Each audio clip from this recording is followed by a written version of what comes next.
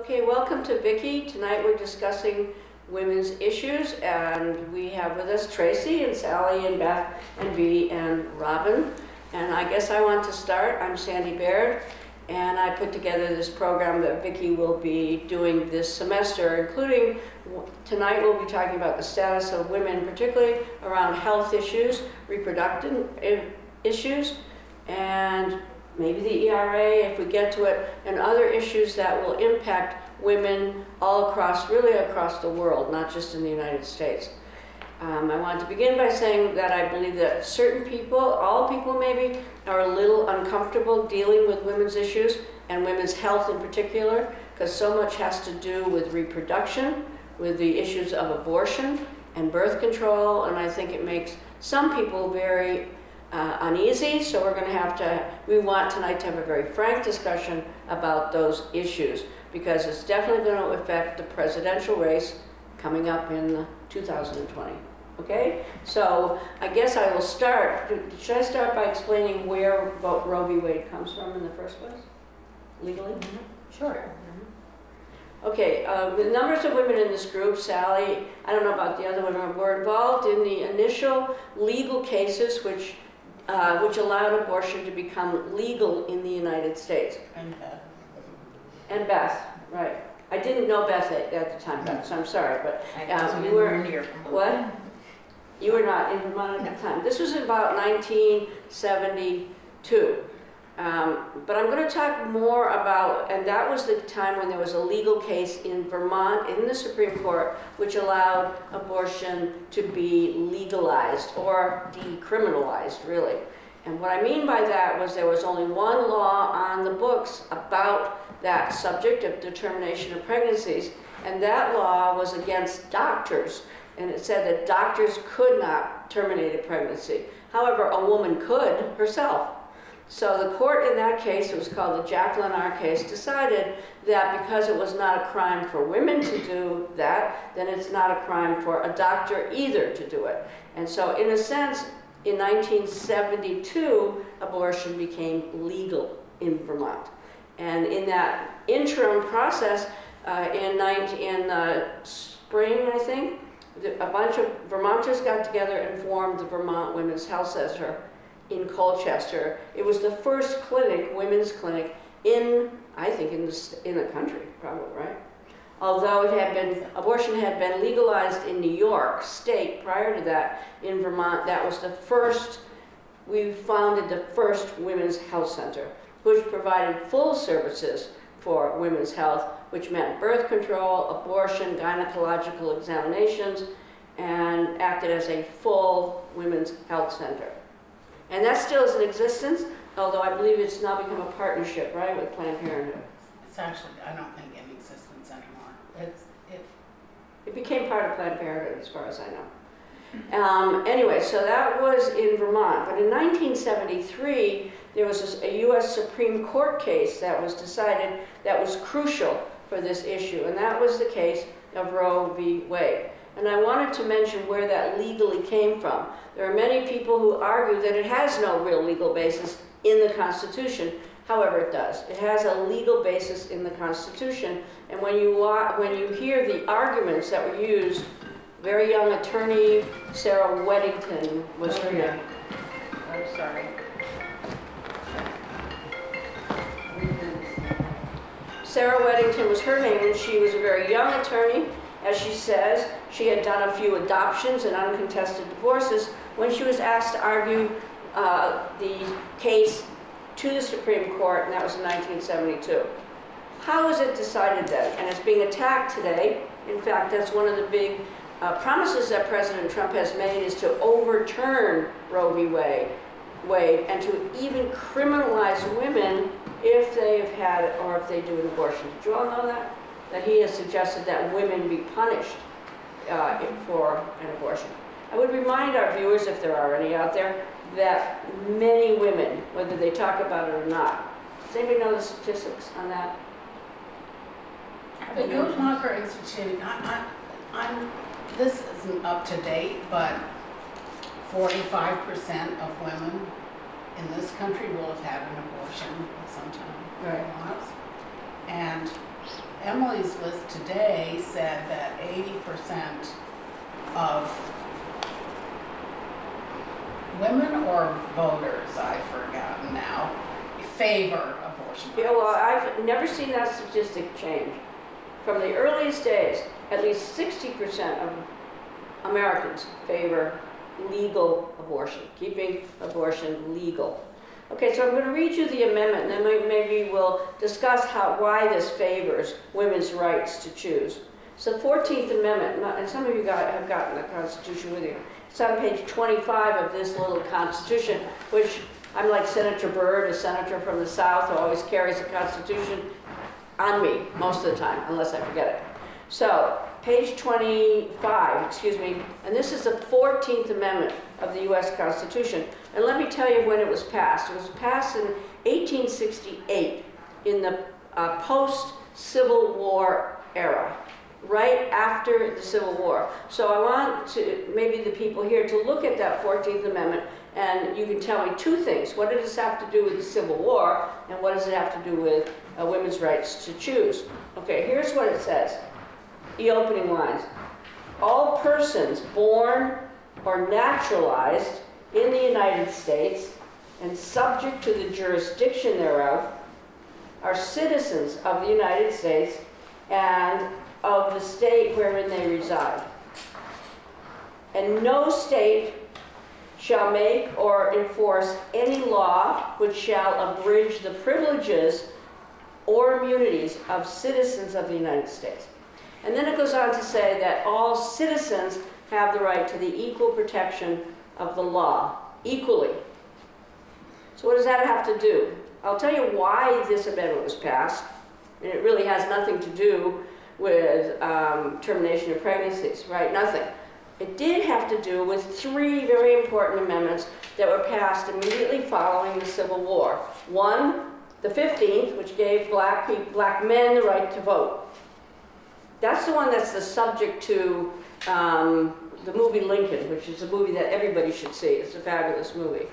Okay, so this was passed at the end of the Civil War when four and a half million black people were emancipated. No skills, no jobs, no homes, no families, but they were free from slavery. Okay, so this said, after much, much fights, that black men, because the whole legal status had to be re redesigned for black, for former slaves. The whole Constitution had to be reconstructed in a way to, what were these people that were, had never been free before? Black men under the 15th were granted the right to vote. The 14th made them what? According to this, what did the 14th Amendment do to those former slaves? You can't figure it out? Made them citizens. Made them citizens. All persons born in the United States in 1868 became citizens of the United States. Okay? And then in the uh, 15th Amendment, oh no, I'm sorry, the 13th Amendment abolished slavery. The 14th we're going to discuss in a minute. The 15th gave black men the right to vote. Okay, so what about the 14th? The 14th made everybody here that was born here a citizen. It's important, right? And entitled to all the privileges and immunities of all other citizens. By the way, does this make Native American citizens? I should have. No. Read subject to the jurisdiction of the United States. Indians, Native Americans were never, never wanted to be subject to the jurisdiction of the uh, United States. At that time, um, Native Americans were in their separate nations and they were considered to be in separate nations and dealt with by treaties. They didn't want to be citizens. They became citizens against their will in like much later in the 19th century. Okay? Anyway, okay, but what does then the 14th Amendment really do about Roe v. Wade? And this was the argument that Sarah Weddington used. She based her legal arguments on the 14th Amendment. Tracy, you should know this.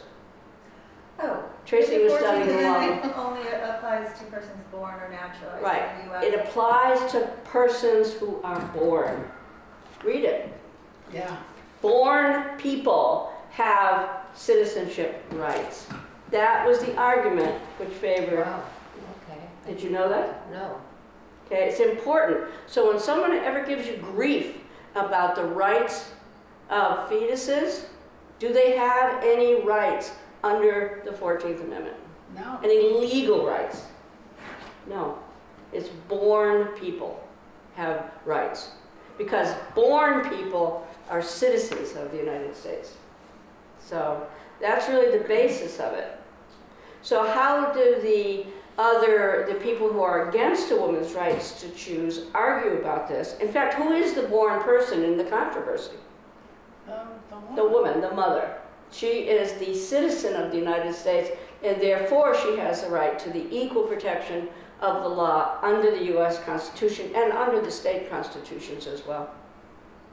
Isn't there an emphasis on the right to privacy? Is- No, Isn't privacy? does- No, that's how it was anyway? interpreted. No, it was interpreted that way by the U.S. court. So when, when Roe v. Wade was decided, there were three stages of protections. In the first three months, remember, you, nothing, no, no state interest. A woman could go to a doctor and immediately get an abortion, immediately without questions. Second stage was a little bit different. In the second stage of pregnancy, the second stage, the court said, well, the state can regulate it at that point. They can say, for instance, that a woman has to go to a hospital or that a doctor has to perform it, although that has not been upheld either, the doctor part. Okay, that's the second stage between first three months without question, second three months, state can regulate. Third, tri- third trimester, the state could prohibit abortion in the third and last stage of the pregnancy. However, there's even an exemption for that, which the exemption is unless the woman's health is going to be damaged. The focus, in other words, on Roe v. Wade was not on fetuses, it was on a woman's rights as a citizen of this beleaguered republic. So Roe v. Wade defined those three stages? Right. Okay. Correct. That was the when time. the trimester concept was actually. And you know who else had that concept until the end of the 19th century? Was the Catholic Church. The Catholic Church defined that you could uh, have an abortion up to viability, which is what, 24 weeks? Quickening. Quickening. Is the term. Correct, quickening. Which is usually around four months. Really? Right. The Catholic Church permitted As that? I understand it, but then it got the infallibility, the Pope, the Catholic Church became, I think, much more authoritarian after the end of the 19th century, with the absolute power of the Pope and, and male hierarchy, which has always been there anyway. There's no women that have ever gotten through that glass ceiling, ever, right? Right. So, um, so that's the legal basis of Roe, and that's what she argued in the court. And the court said, essentially, she's right, that that is correct. Ever since then, though, there's been uh, a backlash. So this was accomplished in the early days of the feminist movement. Of course, it was the second wave, too. What was the first wave of a women's movement? Suffrage. Suffrage, which we're celebrating this year. Robin knows all about that, right? Why don't you say a little bit about that? Well, uh, simply that uh, the Women's International League for Peace and Freedom is um, honoring the fact that this is the 100th anniversary of women getting the right to vote. And uh, Vermont was very sluggardly in Sluggard? Yeah, in supporting that initially, the, um, the governor was against uh, even allowing the vote to happen here. So we, we did not initially, as a state, support it, but it's only required, I think, two-thirds majority to, uh, and it can become law back in the day, and that finally happened. But anyway, uh, we are holding some events uh, in October of this year, a woman who's a wonderful speaker on this subject will be here in Burlington and at various schools, Right. high schools. Right. Right. Yeah, Okay, so that was the first wave, and it occurred, the first wave of a women's suffrage movement was right after the Civil War until 1920. And the reason that women really wanted to vote at the time of the Civil War is so many women had worked for the abolitionist movement. And they really felt that, you know, if black people, if black men can vote, so should, so should black women, so should all women be allowed to vote, and that didn't happen. And so after that was turned down, because you'll notice in the 15th Amendment, black men got the right to vote only, not black women, not white women. Did property ownership play into that at all? At that time, no. At that time, the property qualifications for voting had been mainly eliminated, and there was a reason for that. You know, it When, when were those in effect, at the? it was uh, in effect in the early days of the republic. Yes, Yeah. Right, but you know, there's so much property here, and you could gain property fairly easy by robbing it from some Native Americans. And so the property qualifications didn't make that much sense after a while. But the oppression of women continued, and the, and black people, of course.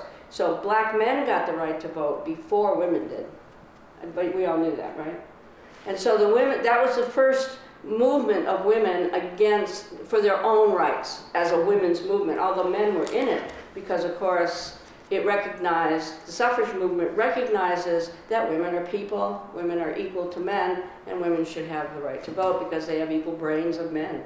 And it put And some do and some don't, right? It, it put a schism between women and black people, black men, because they were mad. Yeah, women were Why should these, why should these guys, these, in fact, uh, one of the leaders of the women's movement said, why should these Sambos be able to Mm-hmm. enter the door before us? That was her That was one woman. I mean, people have been, have been pushing for that for a long time. I mean, um, John Adams, like the Senate Yes. president, um, Abigail Adams, you know, famously wrote to him, remember the ladies. Mhm. But he didn't, did he? No, women didn't get He the vote. he kind of, he kind of wrote, oh, oh, that's so cute, you know. And you guys rule us at home, in the bedroom, in the kitchen, you know, oh, you're in charge, you're in charge, ladies. But he wasn't the worst guy in the world, John Adams. He really was rather an abolitionist as well. In terms of, of that issue, yeah, Yeah, but the, right. Right, but there were a lot, in other words, I'm trying to say there were a lot worse than, than the Adams. I have always kind of liked the Adams because they were so against slavery. Yeah, no, I was a lot of things yeah. But anyway, so that's kind of the historical interpretation of Roe v. Wade. Since that time, by the way, there's been a huge battle. So that, the first women's movement, suffrage. The second wave, which I was involved in, and many of the women here were involved in, was the wave around, basically, the core demand was uh, rights to control your body, rights to have birth control, and a right to uh, terminate pregnancies. Now, why is that so important is the question. And I have to, you have to, I mean, what freedom does a woman have if they don't have those rights? What kind of liberty does a woman have if she's always capable of getting pregnant until how old? From the time that maybe 13 until the time they're 45 or 50? And that's really what happens in societies where women don't have the right to choose. When I first moved here, I was access to working, what? birth control, or access to contraception. Right, but when I first moved here in um, the 19, late 1960s, I was working at Legal Aid, uh, and uh, I was becoming a lawyer actually, and I was um, I was a volunteer at Legal Aid, and that's where I studied the law. And there were many other women, and they were part of the staff of Legal Aid. There weren't very many women attorneys at that time. In fact, I was one of the first hundred women in the state of Vermont who became an attorney. And the staff at Legal Aid were uh, women from the local communities, and they all happened to live in Winooski, mostly. And they were part of the French Catholic Quebec tradition. And all of them, and that was 68, had 10 or 14 kids, brothers and sisters. And I came from a family of five, which I thought was large, because I came from a Quebec family also. My mother was Quebecois. And uh, big, big families. So I've always thought, like, what's going on here? Well, there were Catholic families, um, and it was all that was a sin for which you could get excommunicated, even if you used birth control. Um, and You that's what happens. excommunicated for using birth control. Yes, it's an abortion, particularly. Yes, Well, yeah, but, but you're not supposed to. contraceptives? Yes, they were. In fact, I grew up in the state of Massachusetts. Anybody else grow up there? Where contraception was illegal. And in Connecticut. And, no, in Connecticut, right, that was the first legal case, was Connecticut. Illegal until 1968, contraception. Oh, really? Yeah. Yes, you don't remember all that? Why not? Why am I the only I mean, person? Margaret Sanger had done her, had become famous and So what? done her work t- two, three decades earlier, I, In I, New York, right? Yeah. Where was Sanger, in New York? Yeah, but I'm not certain she changed the law. And that you, you know, you can change the law in one state, but you can't change it nationwide unless you go to the court, which happened, Roe v. Wade was 73. Right. So it wasn't, I mean, I, I moved to Wisconsin in, in, uh, when the heck was that, 65, and I went to Wisconsin, and birth control was legal. I couldn't believe it. You could get condoms in Wisconsin, couldn't in Massachusetts. We had a friend who had, you know, what happened to a woman who, a teenager, who would get pregnant in Massachusetts in the 50s and 60s? What did you have to do? You don't remember, nobody's from Massachusetts, I guess, lucky you. Um, although I love Massachusetts now, but you would have had to, especially as a Catholic girl, you'd have had to go to a home for unwed mothers and deliver the baby and give it up for adoption. It was pretty, that's the way it was. Can you remind us, anyone remind us of the story of Roe v. Wade? It was a uh, teenager in Texas, I think, and it was her second or third pregnancy. I Don't know her story. Norma, Norma, um, Covington. what's that? That was, what you're talking about is the one here in Vermont, I think her name was Norma. No, that was Jacqueline. Jacqueline R. Norma something. I used to know her name like. I thought it was Covington, but I'm not certain. But what happened anyway, sorry. Oh, no, I was She asking was- if could remind me, uh, I could- She, she was the Roe, yeah, yeah.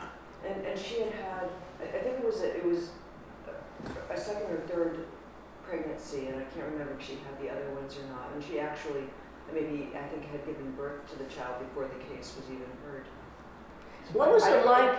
I'm trying to remember the story, I mean, Yeah, can Google it, No, no, but sh- I don't. I don't think, I'm not certain she ever did have an abortion because it had to go through the courts. Right. Yeah, it had to go through all the courts. But, um, so women in other countries which don't have the right to choose, they still have 13, 14 kids Yeah.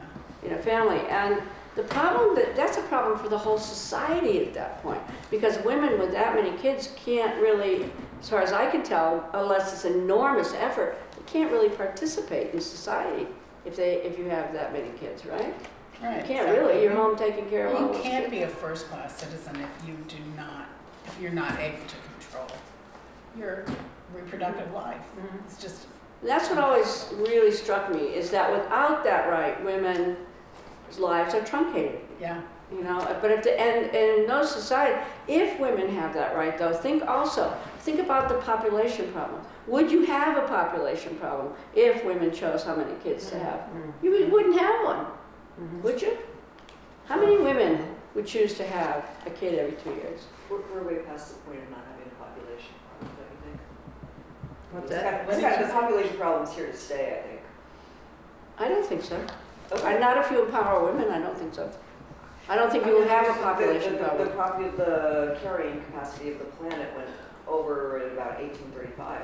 That, that's a big argument, I think, which is great that you're bringing it up, because that is the argument that's often used in the environmental crisis, that there are too many people. And I think that that's true in the environmental discussion. I think people, though, should be discussing that, maybe, but as well be discussing what would happen. How would you solve a population problem? I, I mean, I just think it's, it could be politically a little bit dicey to talk about birth controls or Right. control population. I know because People, pe- people look, I don't know, I don't even want to talk about it, you know, in a way, because, you know, it's looked at who, then who, who is going to be using that? You know, and who? Who do you think would be using it? Well, I don't know, I just, I, I, I'm sorry to talk so much. No, don't, go ahead, go ahead, it's an important argument. You, using what? Well, you know, I think that there's some people who might talk about, well, we want these kinds of people, you know, uh, in lower economic uh, situations, probably to really use, you know, let's give them a lot of birth control. And, and then on the another side of the coin, I often hear people who I feel like they're not going to have any children because it's just wrong to have children. And I'm like, you know what? I think that if you had kids, that they'd be good citizens. I would love for you to have at least one child, you know. But whose Um, decision is it in the end? The How much? guys? No, just kidding. Who, what were you gonna say? I said the guys. I was kidding. It was a joke. But- But that, what, what is the Hyde Amendment? Doesn't the Hyde Amendment? Yes, the Hyde Amendment, go ahead. Payment, uh, for poor women to be able to get abortion for free? The other way around. The Hyde Amendment prohibited well, prohibited Federal funds. federal funds to go for abortion. Well, that's what I'm saying, that's right, the opposite of what you were thinking. Instead of the men in charge saying, let's limit these poor people from having more kids, they're mandating that they have to have more kids by refusing to let them have birth control. Yeah, But they don't couch the argument in that way. What, the- what they say is that you shouldn't have sex. That's Well, true. that's true. I just heard it the other day. Well, because in a, a Really? way, this Yeah. issue is, is about controlling women's bodies. Right. You know, in the English common law, right, women and children were chattel. Right. They were, they were owned by, by men, mm-hmm. controlled by men, or maybe not owned, but controlled. No, not really.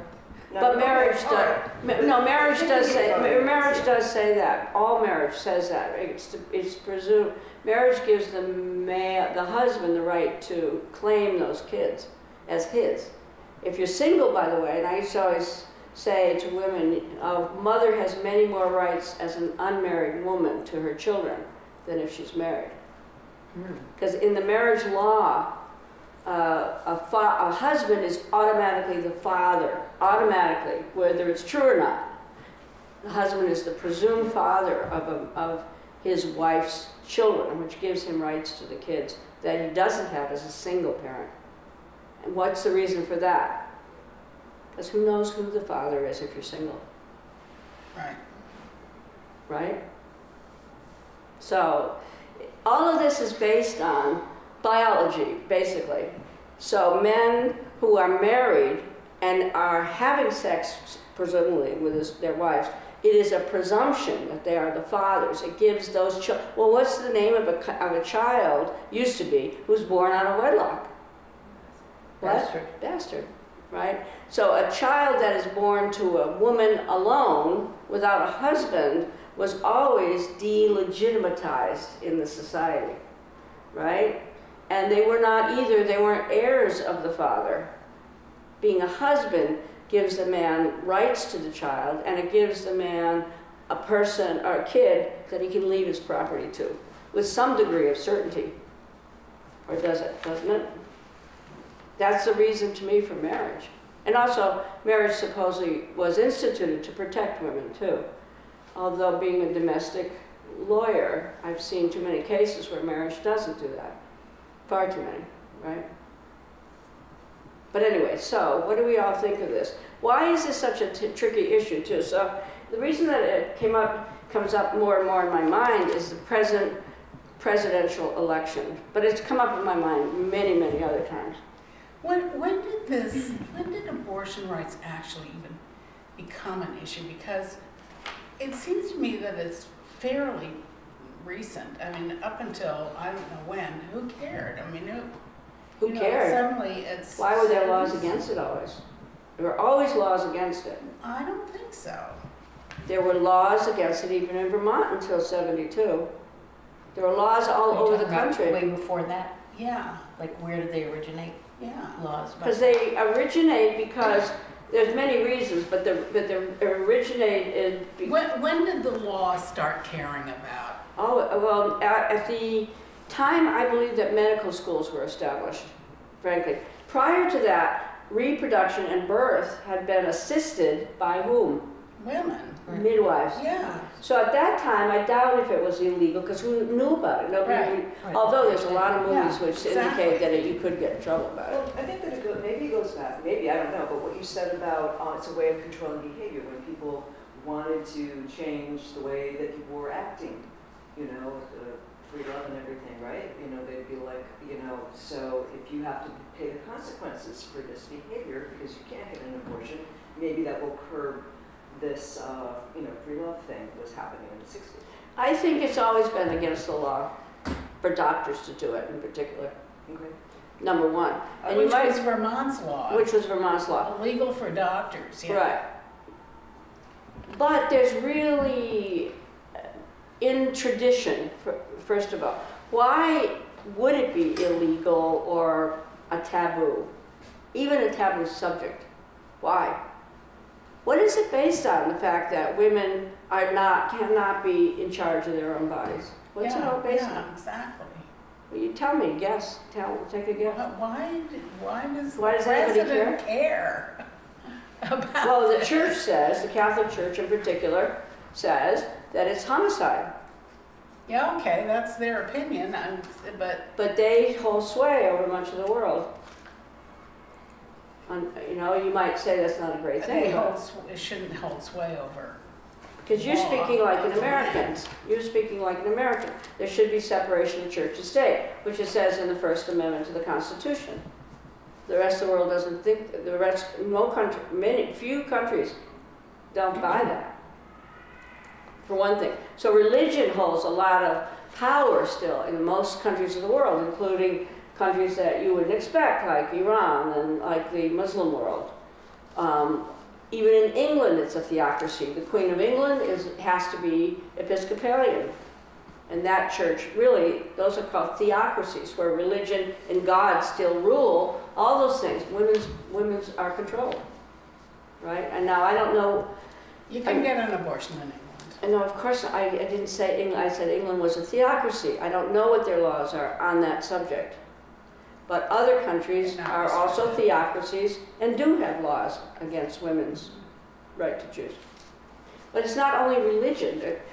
What else? Why does it come? I saw The Godfather last night. Really interesting. Do you know when the woman finally leaves the awful Godfather? Remember that, Godfather 2? I don't remember. Because she has an abortion. Were we? Yeah, the other night. What? I don't think I saw the whole. This is whole- part two. I'm not sure I saw it. He kicks her out at that point because she had, she gets an abortion of his child.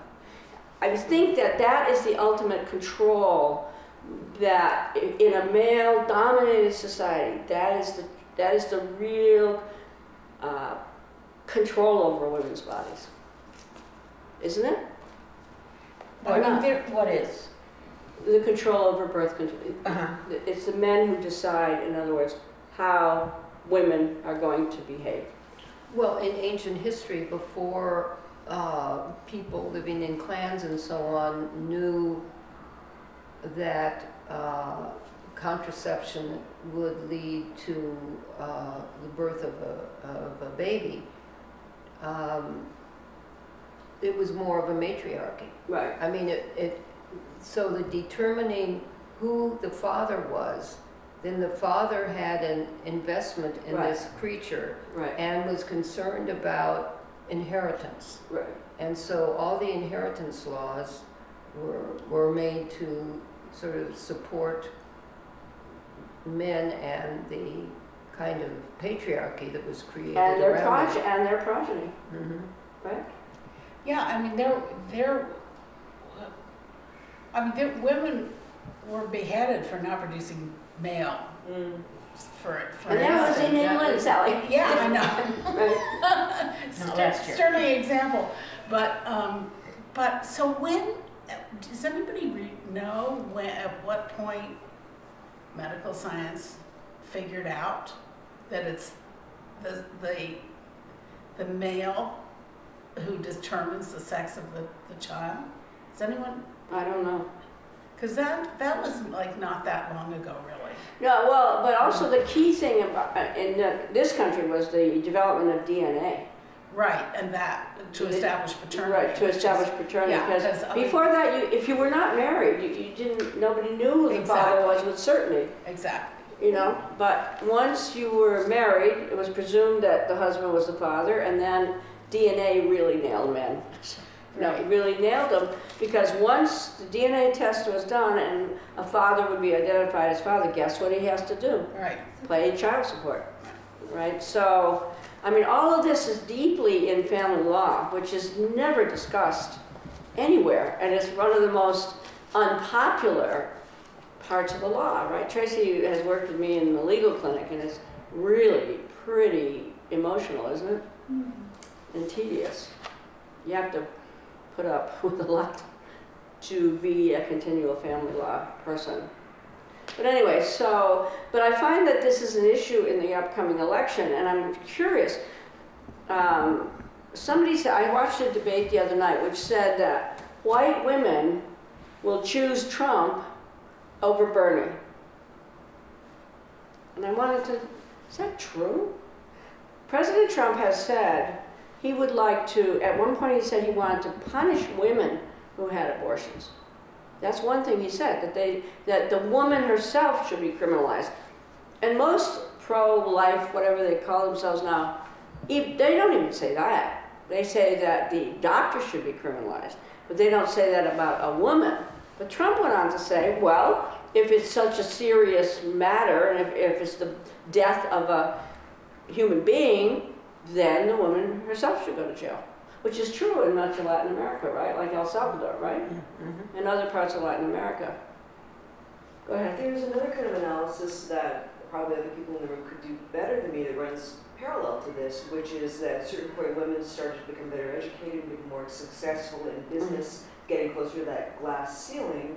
And, you know, perhaps there was some conscious or unconscious thought that if women were to stay in their place and have children, it wouldn't be challenging because then men wouldn't have to share or give up any of that power. Yeah, that's true, but that's really in the States. I mean, there's so many women in the world who are never, Gonna read and write. That is the States, yeah. yeah.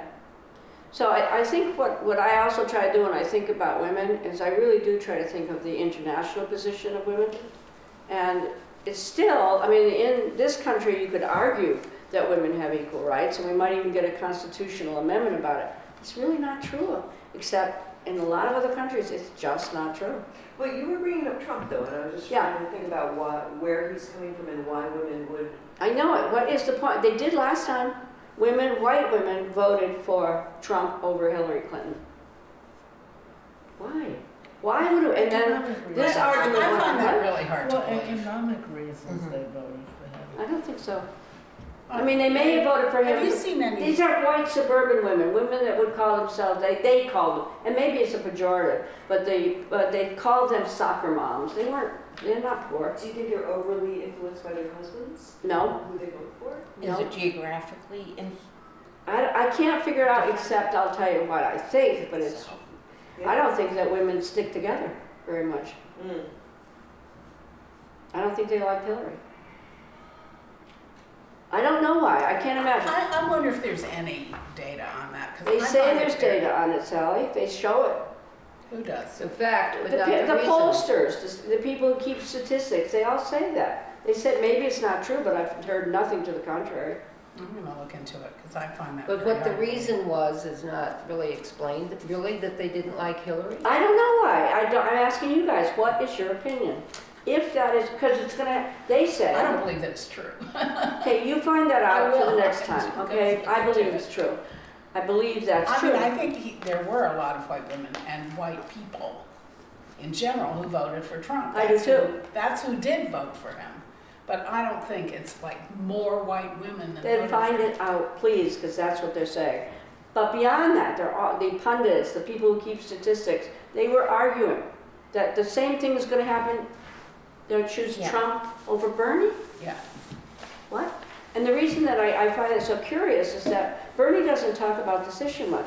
But Bernie Sanders, Senator Sanders, is a huge proponent of choice, Yeah, huge, yeah. and has been And maybe he should, and should probably talk about it more because. That's what I'm that wondering, is- that's why I think. That is, that is an important issue, and, and he, uh, I mean, Pro-Choice Vermont gave him an award one year for his, uh, enduring support for women's right to choose. Does anybody have any thinking, thinking about that? Why? Is it true that they will, that women will do that again if they did it in the first time, which I think they did? Well, I mean, It's mean, not as a block. What? It's Yeah. not as a block of women. Well, they're saying it was, suburban women, white women. That's what they, that's what the statisticians and the people who looked at all that said. yeah, I'm, I, that warrants some research, because that's really hard to believe, and, You haven't ever heard that? no. Well, I heard it all the time. And I heard it again I think the women were, vo- when people voted for Trump, I think the women voted along with their husbands. And many of them were living in rural areas outside of cities, but they were nonetheless the people who kind of found their lives more difficult that year, or those years, than they than previously. They were the women who were, whose husbands and, and who themselves were losing their jobs because the Ford plants were closed. No, I, I. They know were, what shall we say, the way Hillary said, they were the deplorables. I know. And, and, and, That's and true. so that's how they voted. So part of the explanation for the vote is exactly the socioeconomic. It was a protest vote, really, and I, I agree with you. Mm-hmm. It was, it was uh, a vote against. But- but you're saying it was- status quo. Yeah, I think you're saying it was a class-based thing that, and I understand that, that, that poorer people voted for Trump because their lives were miserable. I understand that. But this is not what the, what they, what people who have studied it say. They say it about middle-class women, white women. But also a, a gigantic meme, I- I believe it's called. What's it- what's a was meme? A meme, a sort of a, um, a- a stereotype about Hillary Clinton that, uh, you know, about her emails, about that she was corrupt, you know, and these stories of that she should go to jail. And this was just hammered down on people during the election as if it was true. And, uh, true. um, I, you know, I don't, I don't know to what degree, I mean, the Wik- WikiLeaks reveals that there were shenanigans certainly in, uh, in the Democratic, uh, um, planning of, of trying to control Bernie from having power, but I think those, those ideas that she should go to jail, I mean, come on, and the, and the emails, the, the, Jill, This is Jill. were far Hi, Jill.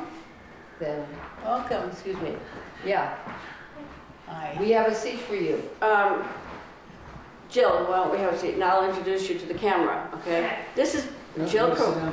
This is Jill Krowinski, who's coming in from the legislature. Um, and Jill was a big supporter and sponsor of the legislation that codified Roe v. Wade into the Vermont law, right? Jill? Right. And this representative, Jill Krowinski, she's also, you're also the leader of the Democratic Party, aren't you? I am the House Majority Leader. Okay, he's what, yeah, okay, the House Majority Leader, and she whips all the Democrats into place, I hope. Do you? Can you tell us what happened at the State House today? I can. Mm-hmm. Okay, so Jill's gonna to give us, no, I want you to start with that. We've been talking about Roe v. Wade and the codification of it into Vermont law and the history of it, um, and what we're gonna do about the next election for women. But also, Jill is here, she's just fresh out of the legislature where they've made some really important decisions today, and so why don't you give us an update? Wow, well, yeah, I think that we have incredible work to do this legislative session to advance issues that help support women and families. So I can, I can talk Yeah. about after this, uh, um, H57 and Prop 5, which are our reproductive rights uh, package of legislation. Uh, Today, we had a vote on a bill to create a paid family and medical leave program in Vermont, which would give, uh, through a small payroll tax, uh, new parents uh, 12 weeks for bonding at 90% wage replacement, and eight weeks to take care of a sick family member, um, which would Paid, Hmm? paid. paid. Mhm. Yep. And uh, get, has a voluntary opt-in if you want um, TDI, temporary disability insurance for yourself. Uh, we had a, the governor, uh, this has gone through many committees and many floor votes, and uh, the governor recently vetoed the bill. And so today the House had an override vote, and unfortunately we fell one vote short One, One. Oh, one my vote. So this is, shows the importance of every single vote for every single elected official that you care about, because this is how it trickles up. Um, when you have people who don't necessarily vote the same way their community wants. But, but isn't this the same sort of bill that Trump just gave permission to federal workers that they would have uh, leave? Uh, Yes, so it's leave? interesting because um, Governor Scott did a similar thing in that while he was negotiating with the State Employees Association on their contract, he gave them um, a, there's a provision in the contract that creates a paid family and medical leave program just for state employees. Um, and it creates an opt-in for the general public, but because it's all voluntary for members of the public, it's a much more expensive plan to run.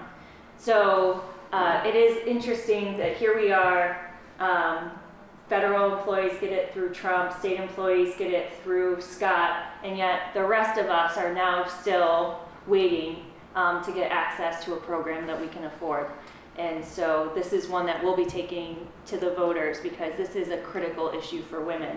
And in so many ways, economic security, health outcomes, um, equal pay. I mean, it's it touches so many um, buckets of issues that we, uh, I assume, all care about and advocate Mhm. for.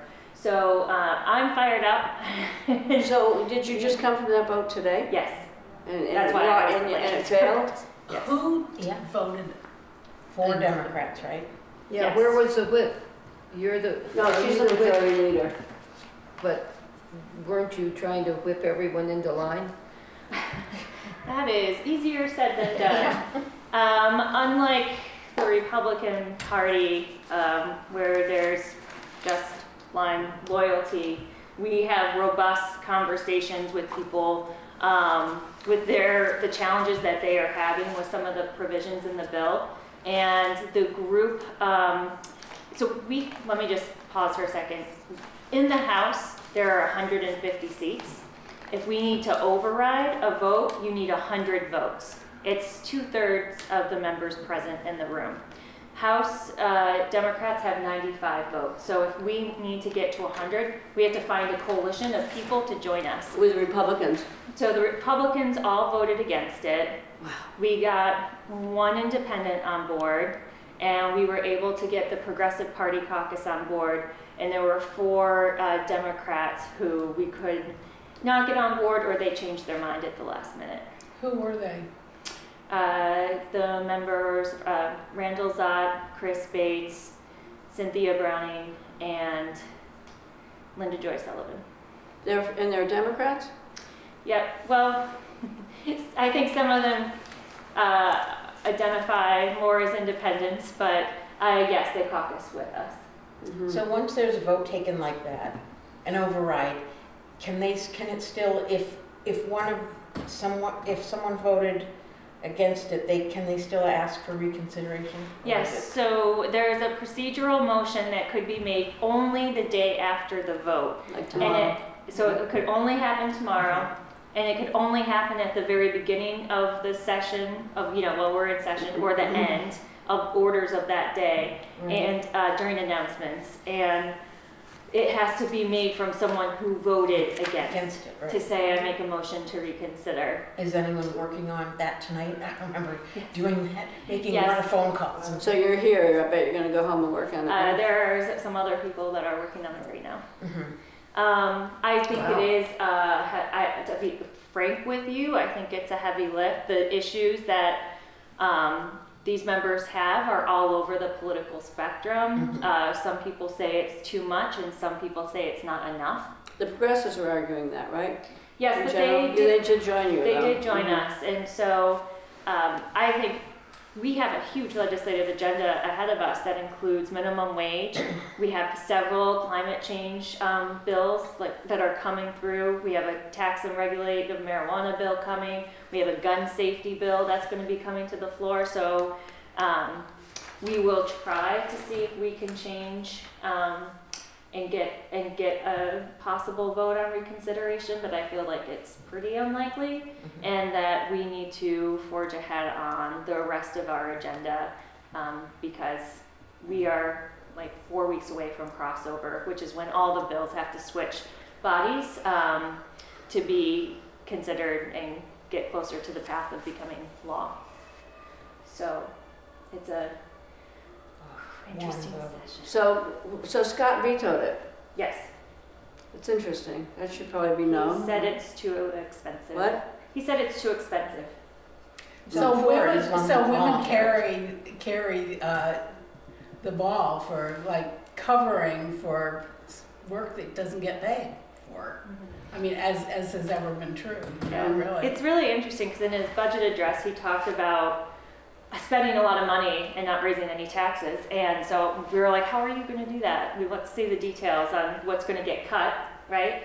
And one of his proposals was to um, increase access to um, uh, nurses visiting new parents, and I just wanted to say, they're not going to be home because they have to be at work Right. because they don't have access to a paid leave program, and so, um, uh, you know, I think this is a really important reminder to all of us. is like legislative races are important, but Right. this year the governor's race is critical if we're ever going to be able to make progress on issues that help women and And the fam, and families.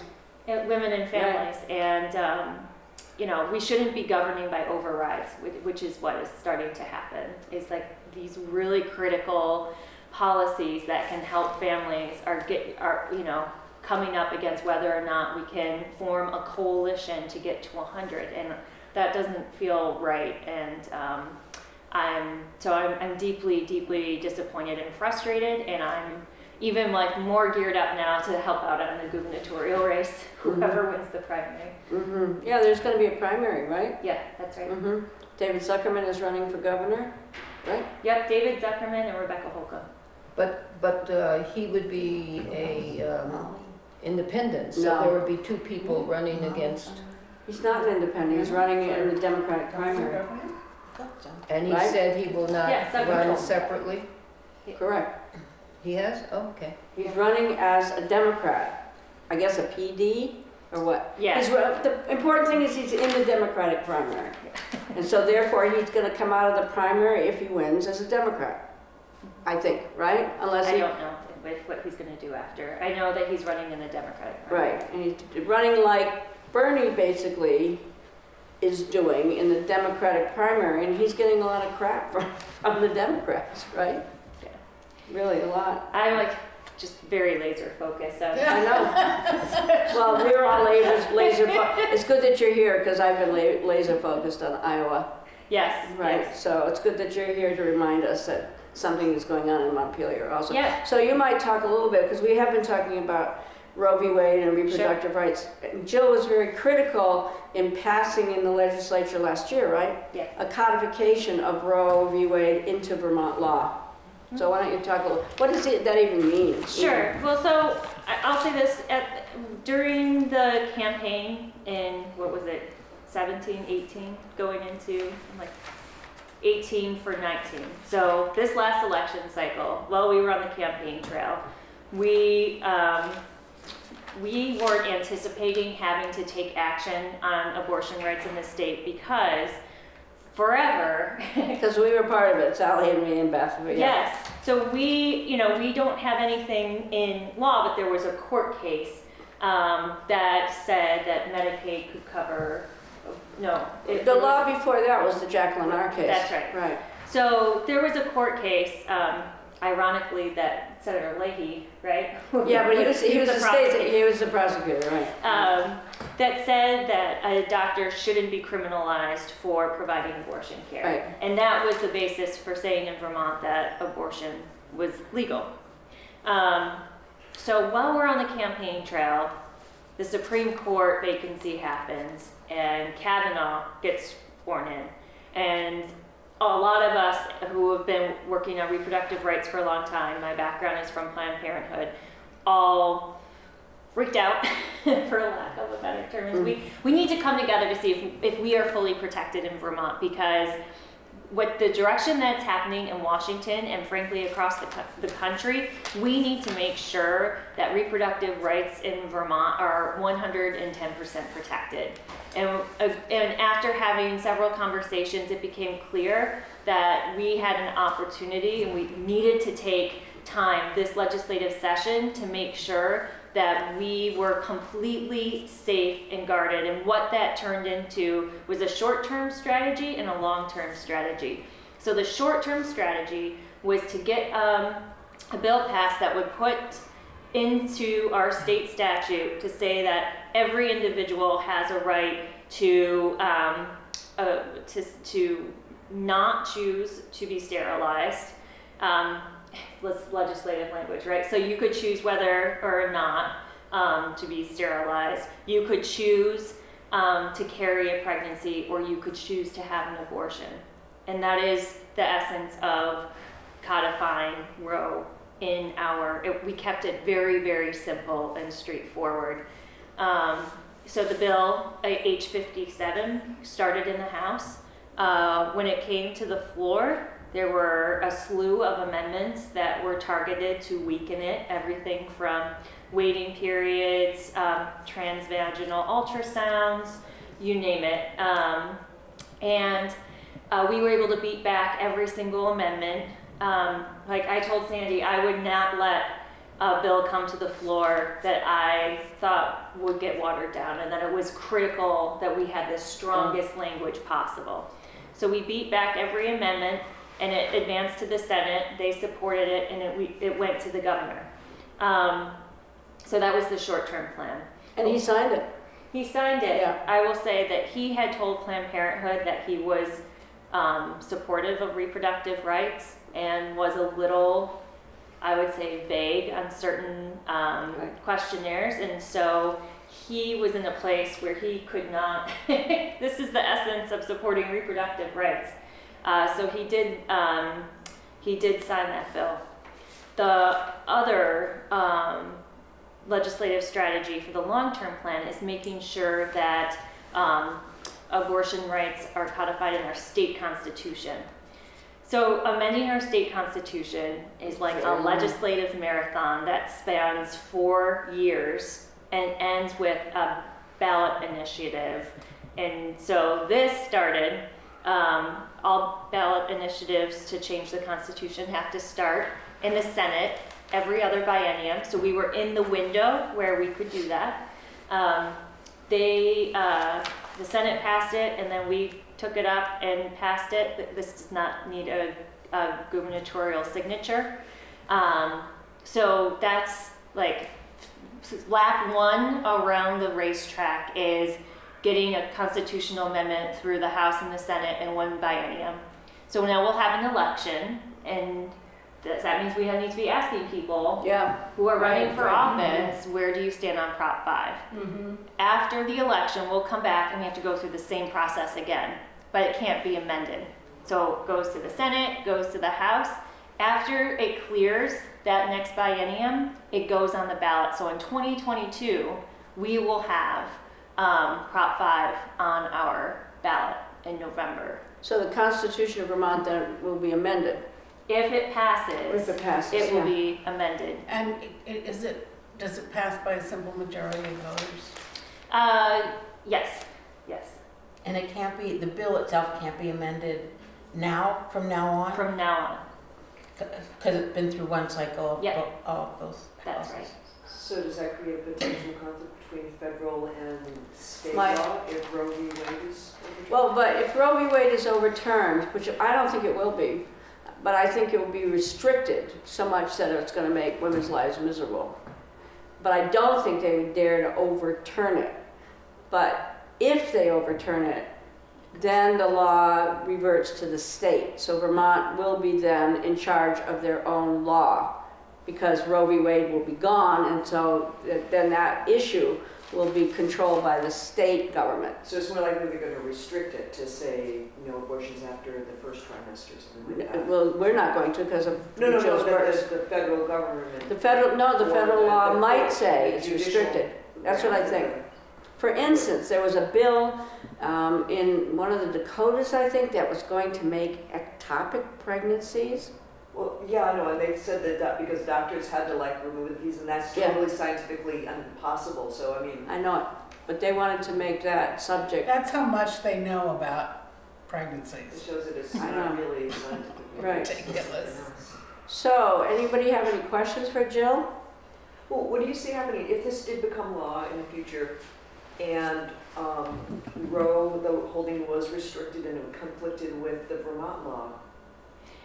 What could happen? So it, the, sh- the short answer is it can't conflict Mhm. because the way that a lot, all of these legis, these legislative initiatives and these court cases basically say um, it goes back to the states. Right. So Yeah. it wouldn't be, it would be a state decision on how you want to re- uh, regulate abortion Oh, okay, care. all right, so it'd be, And it'd so- be in Vermont. I'll give you a perfect Yes. example of what Scott wanted to do at one point when he was running for office.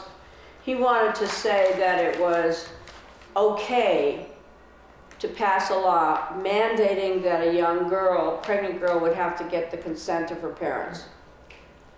It was called parental consent. So, Wait a minute, so, Okay, sorry. what, what, what, that's the kind of restriction that Phil Scott wanted. So when, I- many, so in those years, there were groups of us who opposed him on that. Why would that be? Why would, that- Howard Dean had the best argument about that of anybody, did you know Really? that? Yeah, No. he's very pro-choice, by the way. I, well, I know, I know. I mean, he's a doctor. Yeah. Do you know what he said? This was really interesting. He said, it's, I've seen too many times where the father of the mother is the father of the fetus. Figure that out. uh, it's Vermont, I'm not too much. What? Right? So he opposed all that. He opposed all restrictions on abortion. And Vermont has the least restrictions on it of anybody, of any other state, isn't it?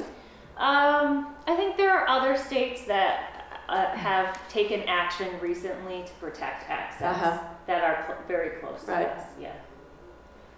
But it's the work of people like Jill and, and grassroots movements who have made Vermont really different than other states.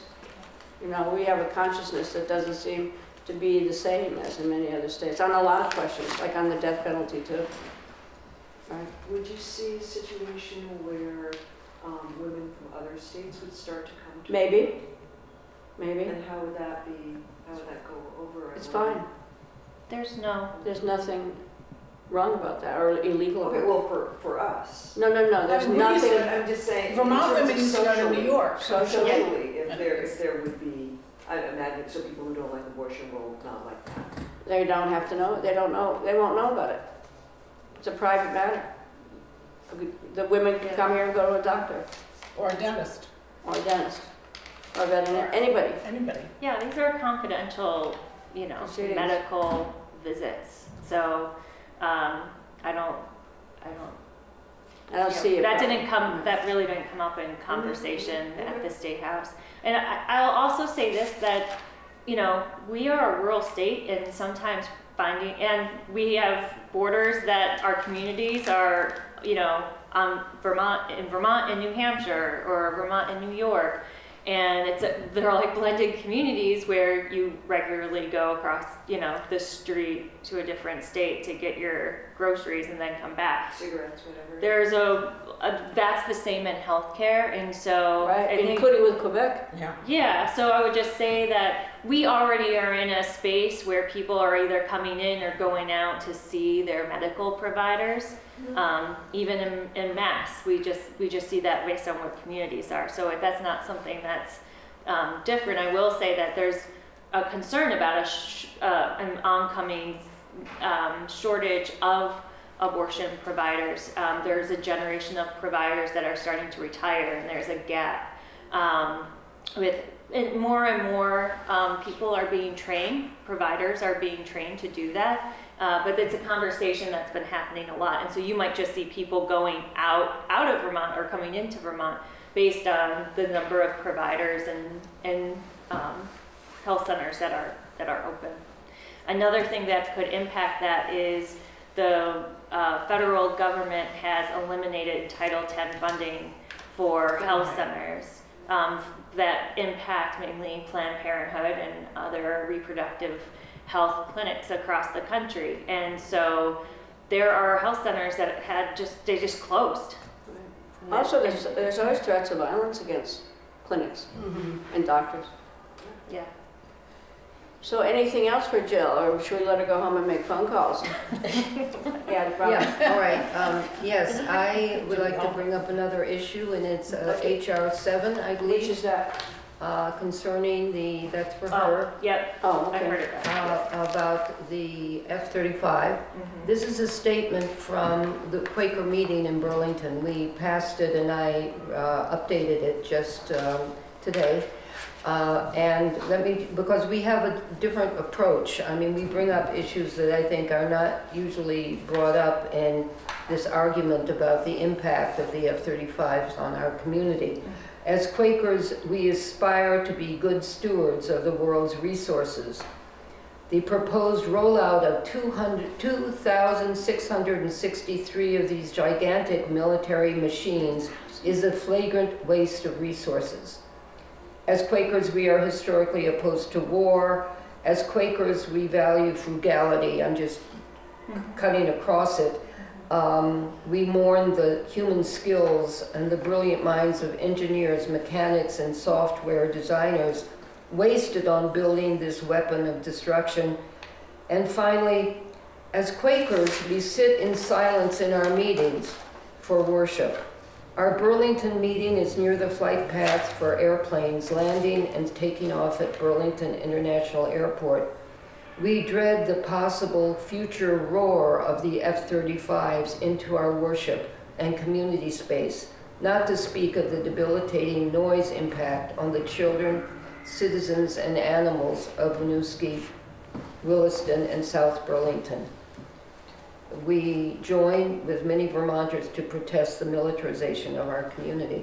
So I'm wondering where that uh, resolution, or is it a, a law? Uh, currently, it passed in the Senate last time around, and um, it's in front of the Military and General Affairs Committee with Mr. Um, Stevens. Tom Stevens. Yes, Tom Stevens. He's from okay. this, is he from Chittenden? He's from uh, Waterbury. Waterbury, yeah. So, uh, but you have a powerful role to play uh, in also pushing it forward.